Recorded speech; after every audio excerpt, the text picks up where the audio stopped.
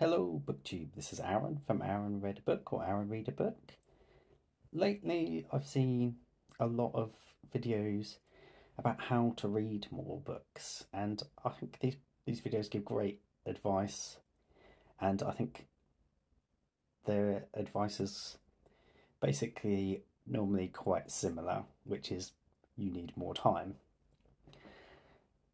But in in a sort of free society, I, I think for the purpose of debate, we should have the opposite as well. The opposite uh, video should exist. So I, I've decided to do a video on how to read less. So I'm going to be offering some some tips on how to read less and um, to make worse use of your time. So the the first the first tip I'll give is read long, confusing works of modernist literature.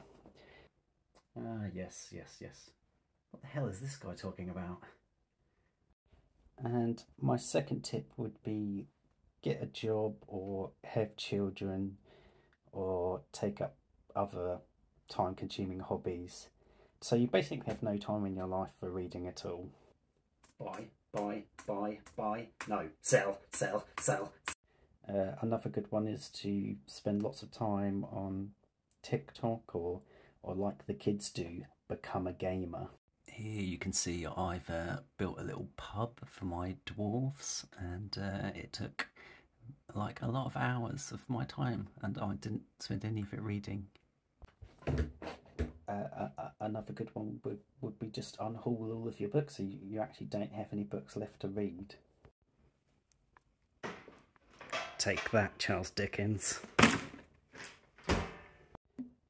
Uh, another great tip all the influencers use is to use their app that they've got um, that reduces a book down to basically a synopsis so you don't really have to read the book at all but you can tell everyone you have so I, I've done the opposite of that in I've created an app that it doesn't make books longer, but it makes them harder to read by translating them into everyone's favourite language, Klingon. And then Henry said, Kaltak.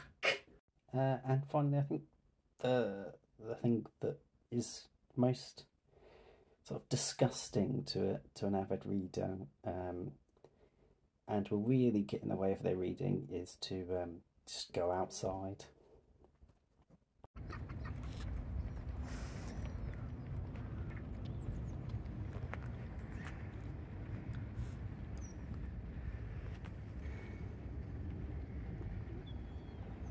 Didn't even know there was a river outside my house. Um, yeah, screw this. I'm gonna go in and read a book.